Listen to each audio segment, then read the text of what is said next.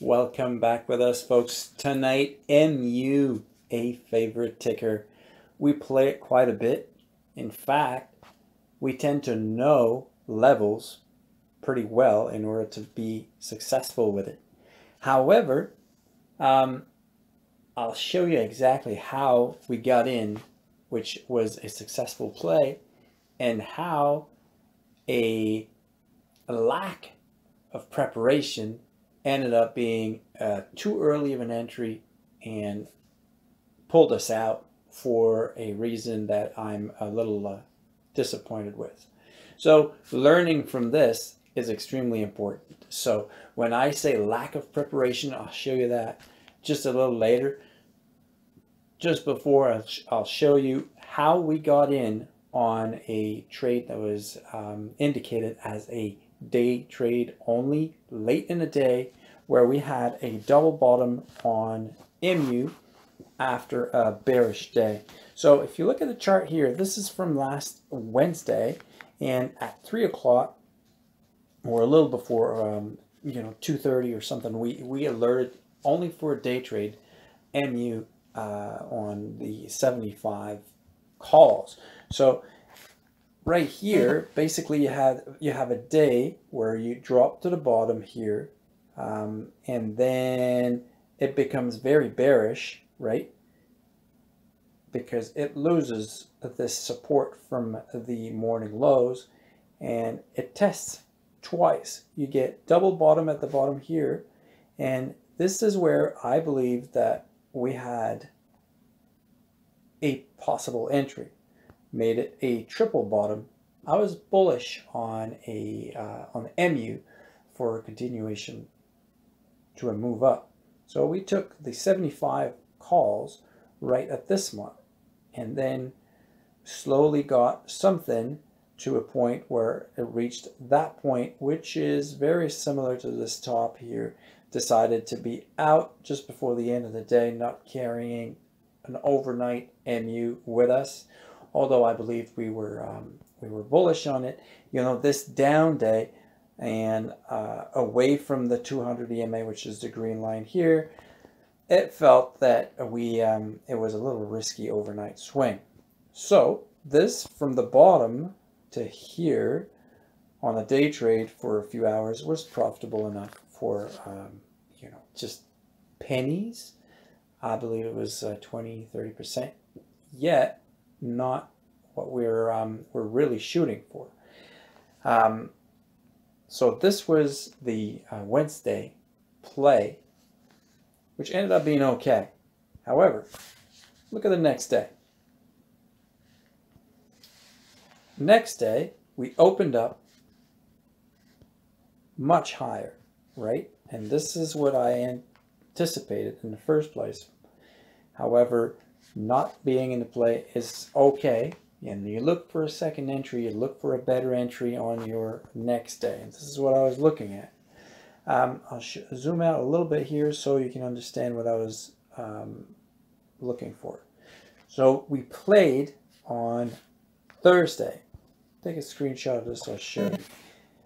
Here is the high, pre-market high on Wednesday and look at what happened on a big push we opened up higher than this. So we are in bullish territory.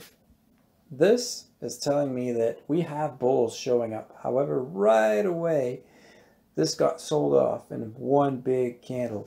This is really really tricky if you're if you're playing that because you know you're you're so bullish you're with the buyers and then all of a sudden flushes. So I was you know, MU sometimes does that, does this, and we're trying to to be um, very careful with it. However, look at what it did. I tell you, pre-market activity, and this is where pre-market ends, and look at what happened. We came down to pre-market, and it bounced. This is where we alerted. However, it kept going lower low, lower low, and we're down to this low to me, this was, oh, okay, we're, we're kind of, you know, stretching it a little bit. but it's the pre-market activity. I'm pretty confident, you know, it's going to move. Then we get higher low, higher low. Then we're reaching this line. It's not even this pre-market resistance. No, it's intraday resistance. It gets rejected. Remember this long, tall red candle, and this this is what I, you know, look at the angle here. It's moving down pretty fast. I decided when we lost this level, I decided to get out. Now, this is only looking at intraday and looking only at, um, let me clean this up a little bit here, not looking at the previous day, not looking at anything from a lar um, longer time frame point of view. Now, I'll make a line appear here and, I'll and you'll see exactly what I mean. Look at this. This is support, right? And you'll like you'll be like, oh man, okay. This really this really works, right? Support and resistance. This is a drop from on Tuesday. This is where it stopped on Tuesday. This is now where it's bouncing. You want to see something a little more um, uh, convincing? I'll show you that. Zoom out on a daily chart. Okay? Look at this. This is June. Take a screenshot of this. This is June. All this you know, you get a bounce on the line, bounce on the line, bounce on the line. All this is really, really strong support. Now, that strong support became a resistance line, right? This, again, all the way until now, not changing the line, not changing the line. So this, when I say keep lines in your chart, this is exactly what I mean. Look at where this line ends up. And this is where, take a screenshot again show you guys.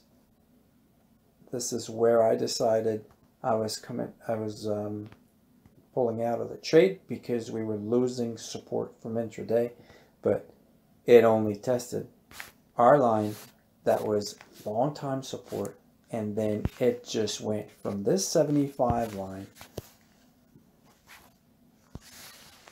to end up the day at 83 on Friday. So day before we pulled out, the next day it's um, nine dollars or so higher than when we got in. So this is looking at the chart intraday but it was a false trigger and we should have looked a little further out in order to stay in the trade showing you that there was a line of strong support that was tested. And sometimes big orders get filled right there. Why? Because there everyone is waiting for that line to happen. And when it gets there everyone sees it. Everyone that is better prepared than I was. So what I'm saying is keep lines in your chart where strong and evident support and resistance lines are. Now you really, really can see it, right? When you look at the um, daily chart, I'll show you the daily chart again. Now you really see it. I mean, this is clearly a support and resistance line. And when this appears like this, it needs to stay in your chart and we can trade it for more um, with more confidence. So I hope you're learning with something with this, and obviously preparation is key. So we'll get we'll we'll get good trades again. Thanks for watching, and I'll see you in chat.